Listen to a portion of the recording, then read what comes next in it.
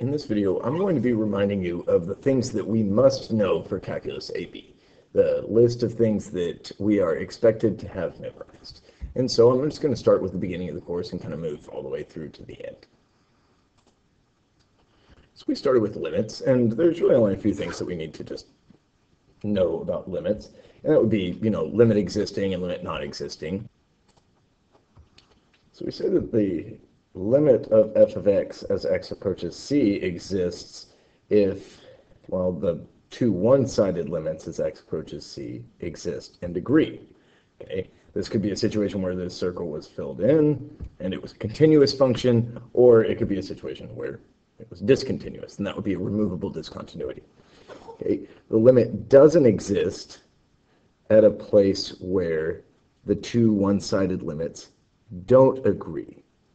Okay, so maybe we have something like that. Okay. It would also fail to exist at a place where we had like a vertical asymptote or something like that. Okay, this is limit existing and limit non-existing. We also need to know the definition of continuous. Okay, a function is continuous at an x value if the limit of the function as x approaches that value is equal to the value of the function. Okay, so, you know, suppose we've got a limit existing, okay, that would be discontinuous because there's a hole in the graph. But if the value of the function is equal to the limit, then it's going to be continuous at that point. That's the idea. We also need to know about a consequence of continuity, the intermediate value theorem, that if a function is continuous on a closed interval and we've got some y value between f of a and f of b, then y0 is equal to f of c for some c between a and b. And I'll draw you a picture. So suppose we've got ourselves a function that's continuous on this interval. And we're just going to say for ease, this is f of a, and you know, that's f of b. If we've got some, y value, y0 in here, and the function is continuous, I have to cross over that line. Whoops, pardon me. I'm going to erase those. This horizontal line right here, I've got to have some sort of intersection for some c in there. That's what we're saying with the intermediate value theorem. Then we started talking about derivatives. Okay, and the definition of the derivative is limit of rise over run as run goes towards zero. And we also had kind of an alternative definition, and this is the definition of the derivative at a point, the slope of a curve at one x value. And so this is also the same as the limit as x approaches c of f of x minus f of c, oops, that in there, divided by x minus c.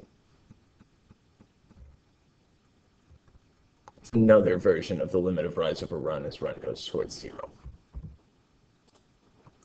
We also learned that the derivative is a function that will give you the slope of a curve at any x value. Okay? And from there, we learned a lot of derivative rules. So this is going to be just a good list of the derivatives of common functions that we have to know. So we need to know how to take the derivative of things that are polynomial in nature. So that's the power rule. The derivative with respect to x of x to the nth power is n times x to the n minus 1. We know that. We've used that every day.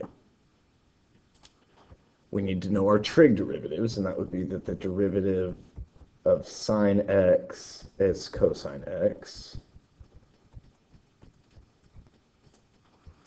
And we need to know the derivatives of the other trig functions, including tangent, secant, cosecant, and cotangent. Okay, we need to know all of those.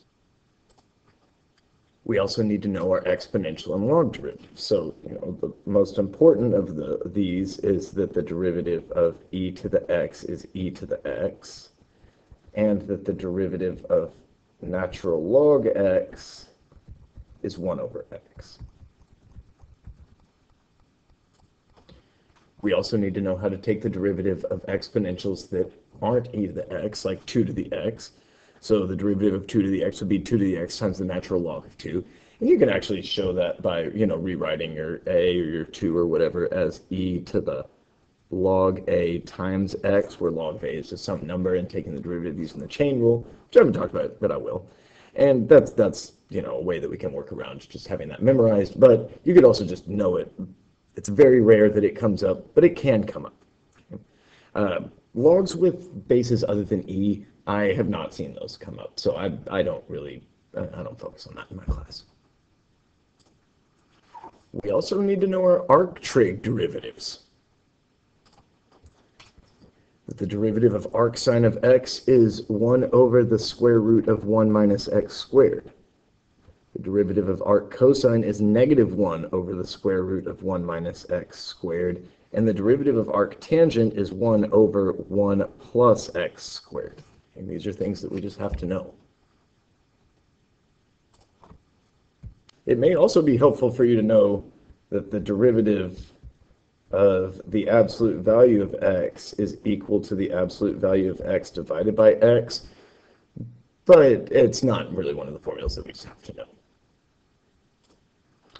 We also need to know our derivative rules, like product rule, quotient rule, chain rule. And so just to give you a quick reminder that we take the derivative of the product of f and g by taking the derivative of one of them and leaving the other ones the same, and then adding in, taking the derivative of the other one and leaving the first one the same. Okay. We need to know the quotient rule. And I always like to say the derivative of top divided by bottom, so we aren't tied to f and g, is equal to bottom times the derivative of the top minus the top times the derivative of the bottom divided by the bottom squared. That is not what that was supposed to be. Okay, bottom squared. And then we also need to know the chain rule, that the derivative with respect to x of f of g of x, where we take the derivative of the outside while leaving the inside the same, and then multiply by the derivative of the inside. One you may have forgotten about is the derivative of the inverse function. Okay, so the derivative, so really what we always say is f n prime equals 1 over f prime of f inverse, where f inverse is some x value. Okay, that's one of those that we have to know. And that one's a little obscure. So, you know, if you're thinking, I don't really remember that, you can go back and look at it. Unit 2, Lesson 4. Or you could look at my third Calculus AB review video, which is kind of obscure topics you may have forgotten about, and that will definitely be on there. The last thing you need to know about derivatives is the mean value theorem. And this is kind of like the intermediate value theorem, except this is set off by a function being differentiable on a closed interval, or really on differentiable on the open interval and continuous on the closed interval, but we don't really talk about that in AP calculus.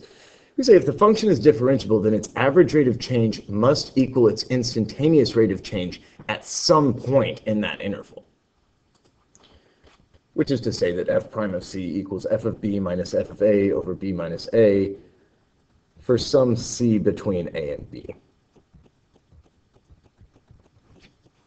Okay. In a specialized case of this would be Rolle's theorem, where if the f of a was equal to f of b, then you have some sort of horizontal tangent, provided that your function is differentiable throughout the entire interval.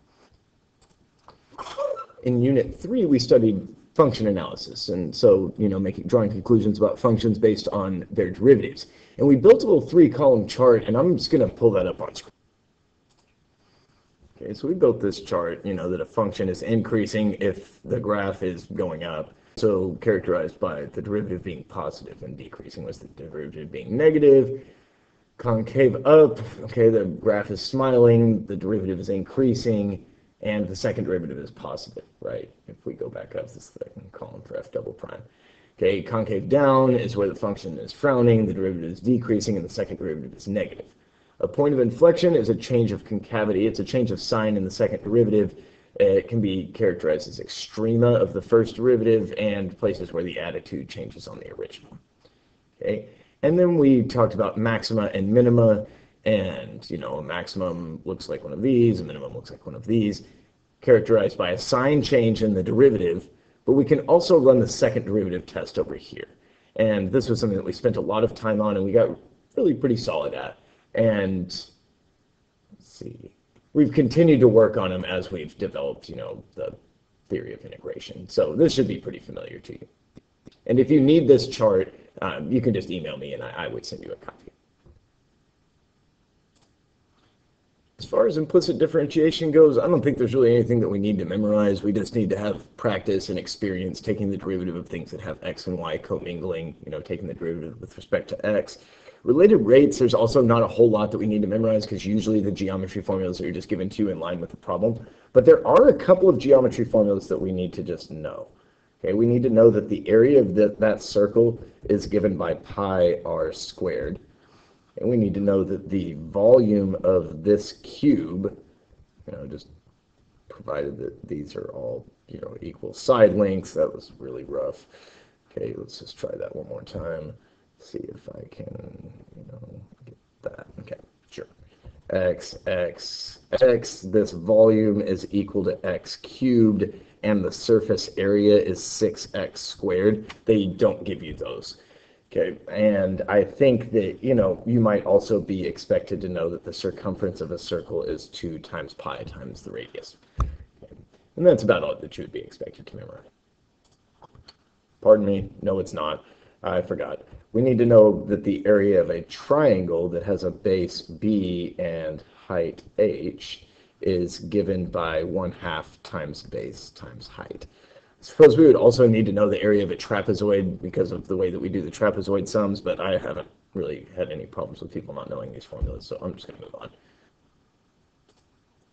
In the fifth unit, we studied differential equations. And this is another one where there really wasn't that much to memorize, and experience was the best teacher. But one thing I can tell you is that the instructions find the particular solution means that you are doing separation of variables.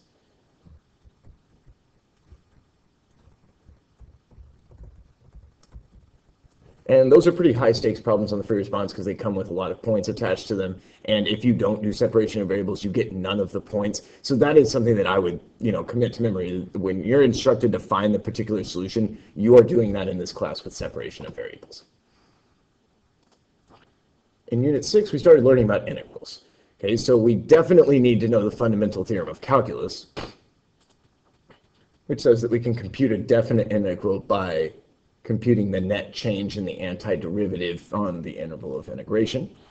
And then we also applied this to some rectilinear motion situations. Now, I'm pretty sure that we all know and agree that velocity is the derivative of position and acceleration is the derivative of velocity and acceleration is the second derivative of position. So I'm not going to write those down. I'm going to write down the things that we just have to have memorized that aren't, you know, entirely obvious. I need you to know that speed is equal to the absolute value of velocity. I need you to know that total distance is given by the integral from time 1 to time 2 of speed. And maybe I'd write that as v of t dt. v of t is absolute value dt, right? And that we can get displacement by integrating velocity without the absolute values. But that's again, that's fundamental theorem that you know the change in position is going to be given by the definite integral of velocity. We also need to know how to take a Riemann sum and how to determine if a Riemann sum is an overestimate or an underestimate, depending on the type of sum you're taking and you know certain aspects of the function, like whether it's increasing or decreasing for a left or right Riemann sum, or whether it's concave up or concave down for a trapezoidal sum. But that's we've been pretty good at that, and that's I don't think that's something you really need to memorize. You just need to know the process, and so I'm not going to write it here. The only other thing I remember from the sixth unit that I would really need to put on, oh, I got two things actually, is the idea of average value. So the average value of a function f of x on a closed interval a to b is going to be equal to 1 over b minus a times the integral from a to b of f of x dx. Whatever we're averaging, we're integrating and dividing. Uh, it's kind of like the thing we add them all up and then we divide. Okay. And then the other thing that you might want to know is, you know, kind of just the restatement of the fundamental theorem where we add f of a to both sides, I think, which is that f of b equals f of a plus the integral from a to b of f prime of x dx. This helps us solve lots of applied problems. Um, this helps us find an ending position when giving a given a starting position and a velocity function. This is a very useful formula for us. In the seventh unit, we learned about functions defined by integrals. And, well, I think what I need to tell you about is the second fundamental theorem of calculus, which is we take the derivative with respect to x of the integral from some number up to x of f of t dt by throwing the upper bound in wherever we see the dummy variable in the integrand. So not f of t, but f of x. Okay? And that we can kind of spice this up a little bit by, you know, instead of going from a to x, going from something like a to x squared, or a to cosine x, or a to g of x. And so that'll be very similar. You know, we plug in the upper bound wherever we see the dummy variable in the integrand. But then in this case, we'll need to multiply by the derivative for the chain rule. And I think that's probably, you know, the rate in, rate out scenarios. There's some things that we need to know about that, but I think that, again, the we're pretty fresh on those, and I'm already over 15 minutes, so I think that I'm going to kind of just leave functions defined by integrals right there. And in the last unit of Calculus AB, we learned about area and volume. And now this year, I don't think we didn't do any volume. But in general, in Calculus AB, you, you need to be able to, to do the volumes as well as the areas. So I'm going to tell you about all of those right now, all those formulas that we need to know. So first, we've got area between two curves.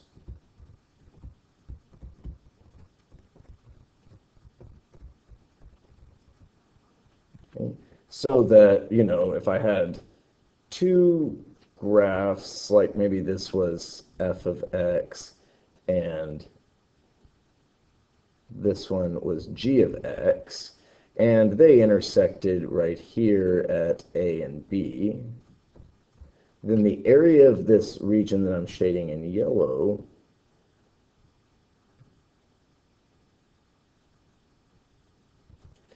is going to be given by the integral from a to b of top minus bottom. So in this case, f of x is on top, right? Because if you trace it back to the region in yellow, f of x is the curve that's on top.